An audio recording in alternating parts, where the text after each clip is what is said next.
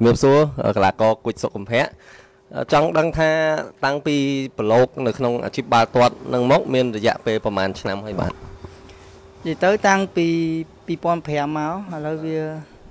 ចូល10មួយឆ្នាំមើល6 10ឆ្នាំហើយឆ្នាំថ្មីហ្នឹងបាទអញ្ចឹងបើគិតតាំងពីប្រឡូកដំបូងមកដល់បច្ចុប្បន្នឆ្លងកាត់ប្រហែលក្លឹបហើយហើយតើកំភៈអាច ប្រៀបធៀបបានទេនៅពេលដែលប្រឡូកដំបូងរហូតមកដល់បច្ចុប្បន្នមានការប្រែប្រួលអ្វីខ្លះដែរអឺនិយាយទៅខ្ញុំអឺចាប់ចាប់ផ្ដើមពីប្រឡូកនៅក្នុងវិស័យបាល់ទាត់ហ្នឹងគឺឆ្លងកាត់3ក្លឹបទី1ក្លឹបខេមរាទី2ភ្នំពេញក្រោនហើយទី3ហ្នឹងគឺ Naga បាទហើយពាក់ព័ន្ធជាមួយនឹងភាពខុសគ្នាហ្នឹងខ្ញុំវាបើពាក់ព័ន្ធមួយកីឡាករខ្ញុំគិតថាដូចគ្នា បាទពីមុនគាត់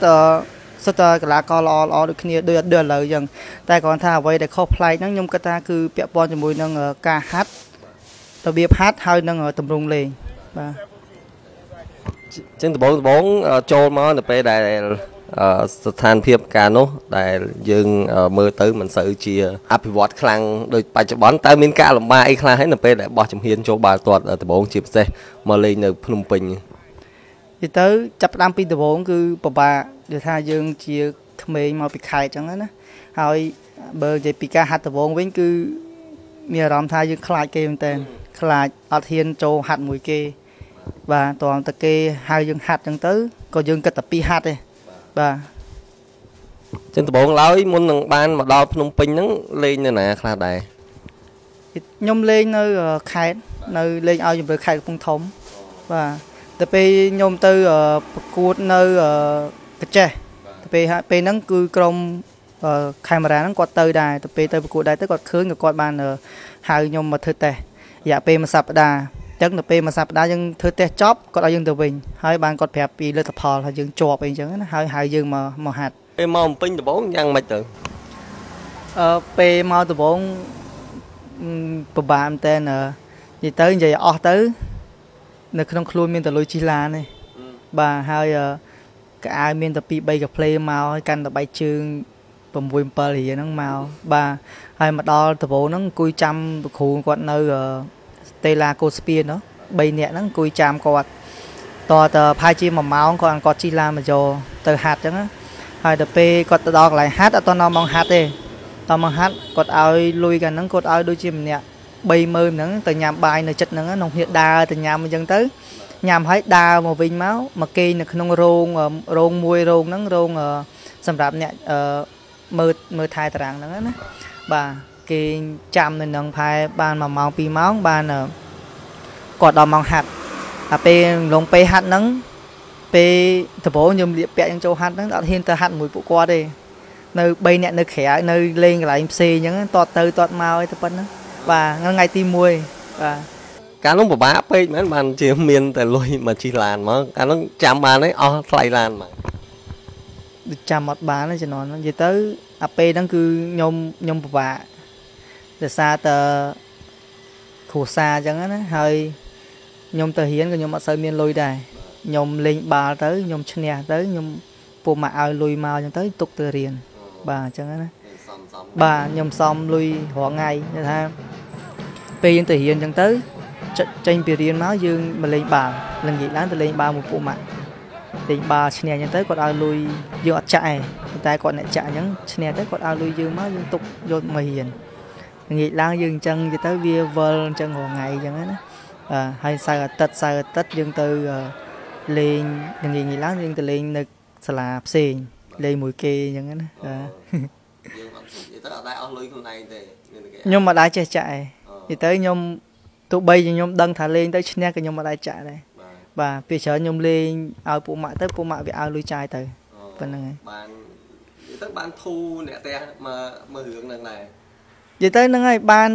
តែប៉ុណ្្នឹងនិយាយការការហ្នឹងវាបានយ៉ាងច្រើន1000 1500ហ្នឹងអឺមួយថ្ងៃមួយថ្ងៃមកទៅរៀនហ្នឹងតែប៉ុណ្្នឹងហើយពេលទៅរៀនហ្នឹងពេលញ៉ាំបាយអញ្ចឹងពេលព្រឹកឡើងមិនគេទៅញ៉ាំបាយចេញលេងអញ្ចឹង ពេលខ្លះហ៊ានទៅនៅលោកលោកកប៉ៅមើលលុយសិនខ្លះមានលុយគ្រប់ឲ្យគេអញ្ចឹងណានិយាយទៅពិបាកជំនាន់ហ្នឹងខ្ញុំពិបាកមែនតើបាទតស៊ូបាទបើតស៊ូម៉ាក់ក៏អត់សូវអឺមានអញ្ចឹងណាបាទជីវភាពពិបាកដែរអញ្ចឹងបាទផ្ទះបាយពេលមកសាលាអីបាយកកបាយអីភាគច្រើនយើងមកញ៉ាំនៅសាលាមួយពួកម៉ាក់អីចឹងលុយទៅខ្ញុំនិយាយចឹងលុយទៅយើងលេងបានហ្នឹងបាទបាទ លឺធ្លាប់សម្ភារដូចជាបងខាបងទីនេះគាត់ថាពេលខ្លះហាត់នៅភ្នំពេញហ្នឹងហូបមីហូបអីទៀតហ្នឹងហើយជំនាន់ហ្នឹងមីមីផឹកងាយផឹកងាយរហូតដែរតែថាយើងសន្សំលុយផងអីចឹងណាបាទកាលហ្នឹងបានលុយហើយណាមួយគាត់មានរបបយើងមានរបបមានមីមានអង្គមានអីចឹងណាចឹងយើងយើងញ៉ាំអាហ្នឹងទៅបាទជាសំចៃណាបាទមុននឹងផ្លាស់មកភ្នំពេញប្រកបអាជីពហ្នឹង អឺធ្លាប់មកដើរលេងធ្លាប់មកស្នាក់នៅអីភ្នំពេញដែរធ្លាប់ធ្លាប់មកជាមួយប៉ាមួយអីព្រោះនៅនេះគាត់មានមានអ៊ំមានអីដែរចឹងណាបាទធ្លាប់មកលេងដែរតែមកភ្នំពេញដំបងការរស់នៅវាមិននៅមួយអ៊ំឬក៏ជួលផ្ទះនៅផ្សេងនិយាយទៅការមកហ្នឹងគឺយើងនៅផ្ទះកីឡារបស់ក្លឹបគេជួលឲ្យនៅបាទនៅមួយមួយកីឡាករ3នាក់ទៀត 2នាក់ទៀតតែគាត់មកធ្វើតេស្តជាមួយដែរបាទដល់ពេលអត់ដែលនៅបែកពីគ្រួសារហ្នឹងហើយអត់ដែរហងពេលយើងបែកពីគ្រួសារដំបងអញ្ចឹងយ៉ាងម៉េចទៅដំបងយើងដូចថាយើងនឹកយើងពិបាកដែរព្រោះជំនាន់ហ្នឹងយើងអាយុ10 18ឆ្នាំហើយយើងជាក្មេងខេត្តដល់ពេលយើងមករស់នៅភ្នំពេញអញ្ចឹងវាវាពិបាកបាទមានទូរស័ព្ទអីប្រើតាក់ទងគ្រួសារ ជំនាន់ហ្នឹងអត់ទាន់មានទេអត់ទាន់មានខ្ញុំអត់ទាន់មានណាបាទដល់ពេលចង់តាក់ទងគ្រួសារនឹកគាត់អីខ្ចីទូរស័ព្ទអ្នកនៅក្នុងក្លឹបជាមួយទៅអត់ទេដោយសារពេលហ្នឹងប៉ាគាត់នៅភ្នំពេញដែរប៉ាគាត់មកធ្វើការហើយគាត់នៅជាមួយបងស្រី2នាក់បាទតែគាត់នៅខាងព្រែកលៀបពេលខ្ញុំនៅខាងទូតពងនេះបាទដល់ពេលនៅបានមួយរយៈទៅក៏ប៉ាគាត់គាត់ទិញទូរស័ព្ទមួយឲ្យដើម្បីតាក់ទងគ្នាអញ្ចឹងណា